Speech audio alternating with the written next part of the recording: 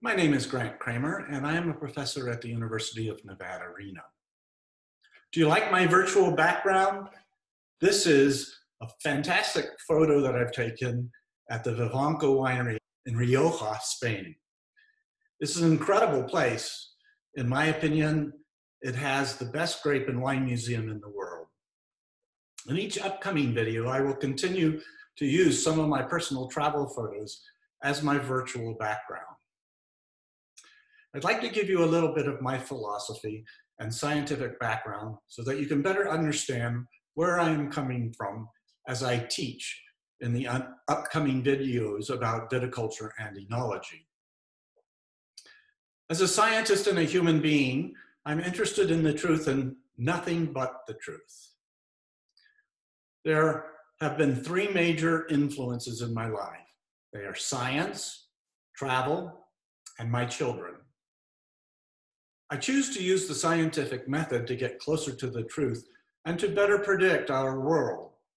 That is, to make observations, form a hypothesis from these observations, test that hypothesis with well-designed experiments, and, and to form new hypotheses based upon those new observations. It's an iterative process. This method leads to human progress and a better understanding of the world around us. Travel has impacted me since I started traveling at the age of 19. At that time, I was interested in exploring other cultures and customs. I've traveled to more than 30 countries during my lifetime, many of them associated with great conferences, visiting vineyards, and the local wineries. I've been to most of the major vineyard areas of the world. Along the way, I've asked many questions and I've learned a lot. It turns out, by sheer chance, that I lived abroad in another country for about a year, about every 10 years of my life since then. This has been a great cultural experience that I recommend to everyone. It started in 1975 to 1976 when I traveled to Europe and then on to Israel to discover what a kibbutz was like. There, I worked in the agricultural fields such as the bananas, avocados, and oranges. Ten years later, in 1986, after I finished my PhD, I spent a year conducting research in India on the salt tolerance of rice. In 1996, after I became a professor, I took my first sabbatical in Russell Jones's lab at UC Berkeley and then on to Rana Munns's lab in Canberra, Australia at the CSIRO.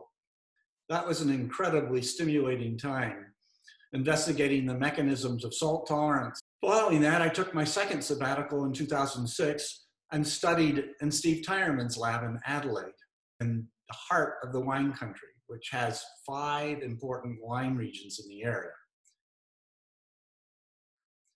it was a great place to be and learn about great research in Australia. And then finally in 2016, I took my third sabbatical in Bordeaux with Serge Delrot and Greg Gambetta at the Institute of Sciences of Vines and Wines in Bordeaux. In my opinion, the world's leading institute for grape research and wine analysis. That was also a great experience, not only to learn about grapes and wine in Bordeaux, but in other regions all over Europe. Finally, my children have taught me so much. When I was a young adult, I had a belief that the environment largely controlled human behavior, behavior. That was based on the fact that my father was a psychiatrist and that in my psychology classes, behavior theory was the leading theme. I had the belief as a young father that the environment was what influenced and impacted children the most. So I tried to raise my children in the same way, in that same way for both of them, neutral, without bias, or any male or female bias. Nevertheless, my children express their individuality and uniqueness. They are quite different. And I am convinced that genetics are more of an influence on behavior and personality than the environment is. Studies of twins, particularly those that have been separated at birth, convincingly support this hypothesis. These observations are consistent with my understanding of plant biology and grape physiology, that genetics are more important than environment. This isn't to say that the environment is not important or influential.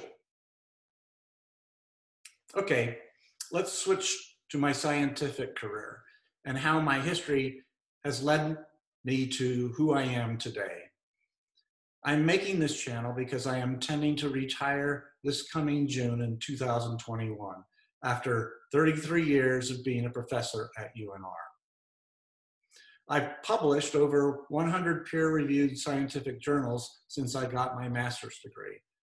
During the first third of my career, I studied and published papers on the salt tolerance of plants and the mechanisms of plant growth. In the latter two thirds of my career, I focused on grapes and the stress physiology of grapes, in particular, drought and salinity. Besides plant physiology, I've utilized a systems biology approach to grapes to get a better, more holistic view of stress responses in grapes. If you're interested, you can find my papers on our on, on Google Scholar, on our website at UNR, or in ResearchGate. Let's step back for a moment to the beginning of my scientific career. I graduated in 1973 from Clayton Valley High School in Concord, California, in the East Bay area of San Francisco.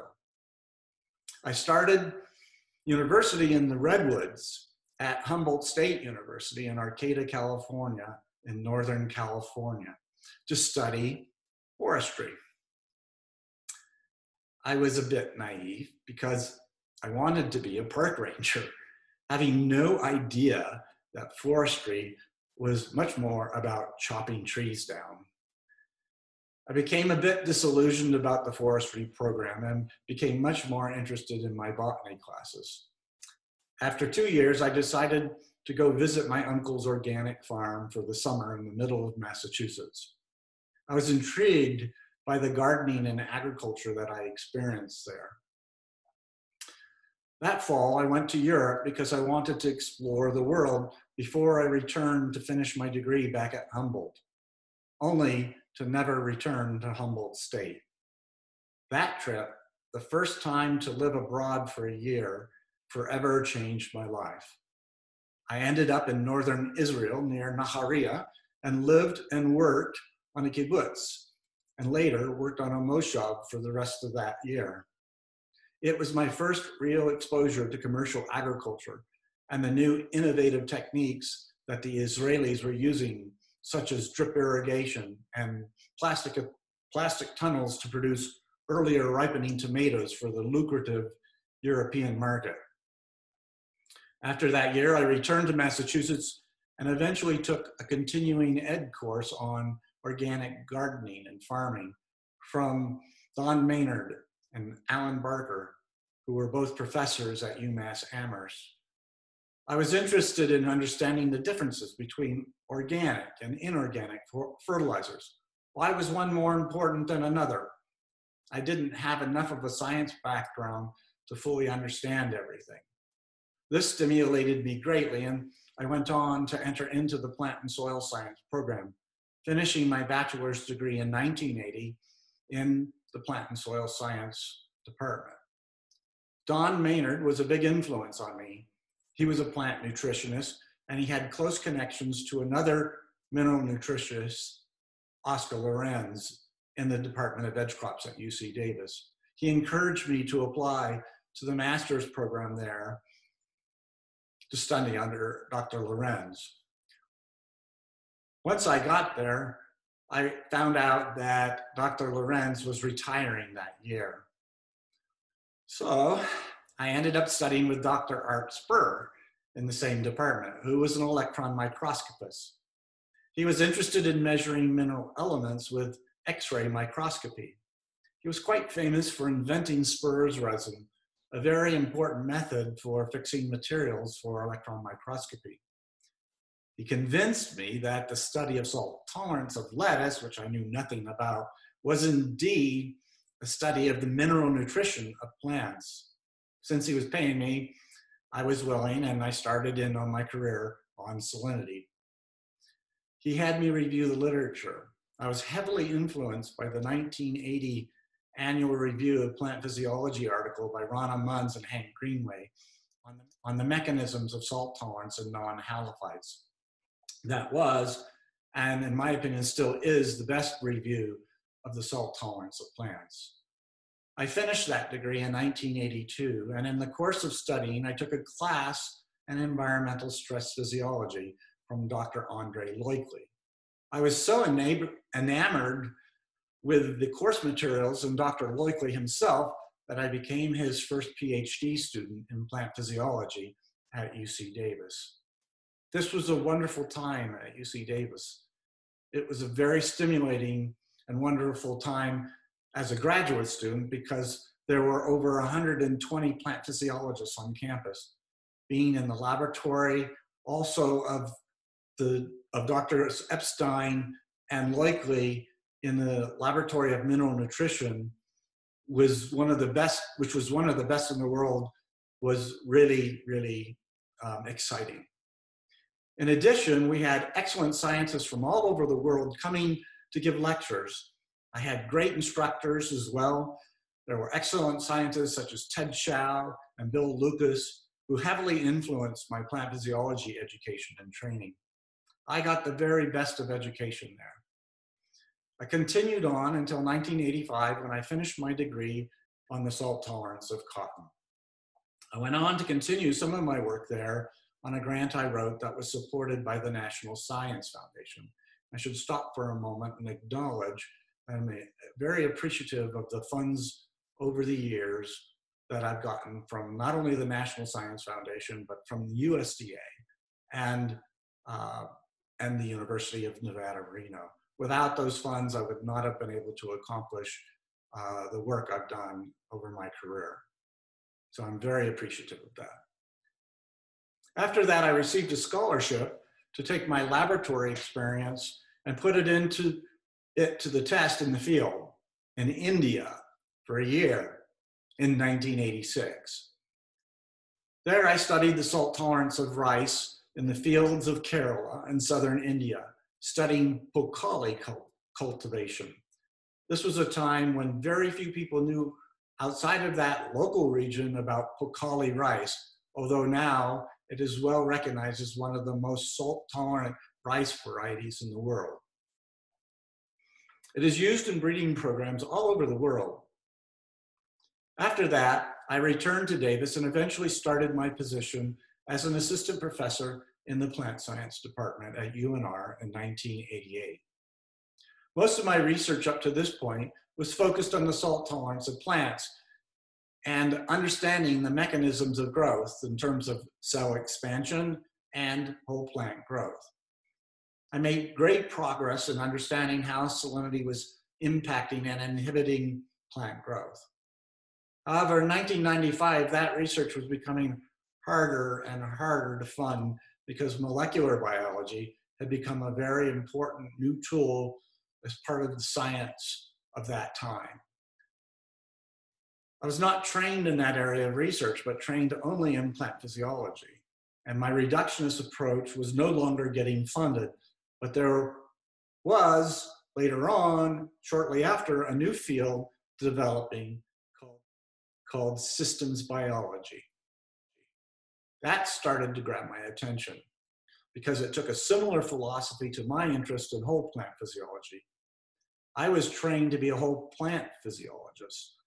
Systems biology is a holistic molecular approach to understanding the system interactions of transcripts, proteins, and metabolites.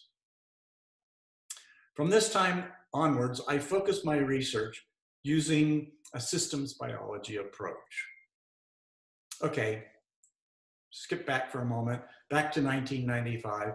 I met a guy named Rick Halbardier who was interested in growing grapes in the Reno area. I thought this was a crazy idea because I thought it was way too cold and grapes wouldn't grow here. He was working with a cooperative extension agent named Wayne Johnson, who had experience with table grapes in our Department of Plant Science. That's the department I was hired in. I decided to get superficially involved because uh, I was sort of intrigued and interested, but really didn't think it was going to succeed. Nevertheless, I helped design and get our experimental vineyard started in 1995. Other influences that led me to get interested in grapes were the fact that my mother and stepfather have been growing Chardonnay grapes, about three and a half acres, commercially in the Carneros appellation in Sonoma County. In 1990, there was also another influence on me, which was the 60 Minutes story called The French Paradox, which discussed the beneficial effects of red wine on human health. So for these reasons, I started to drink a bit more wine. I was drinking not very much at that time, maybe once a week, to almost a daily basis so that I could improve my heart health. As I became more interested, I continued to study about grapes and wine research. After about three years or so of research at the experimental vineyard, it was apparent that grapes were surviving in our area. This was rather exciting. And at this point, I got more involved and eventually took over the project. In 1999, I started an experimental winery so that we could evaluate the 12 varieties of grapes that we had planted. And then finally in 2002, I was lucky enough to receive an NSF plant genome grant for $3.8 million to understand grape stress physiology using a systems biology approach. That really gave a boost to my research program. I have to thank my co-PIs on that project who helped me get the project started, Doctors John Cushman and David Schooley, both who were in my department, which I had moved to, which was the Department of Biochemistry. Okay, so that's it for today. I want to thank you for your attention. That was a bit longer than I expected, but before I go, I want to tell you that the next video is the first in a series of educational videos on viticulture in Northern Nevada. I hope you find them useful and please enjoy a glass of wine on me. Thank you.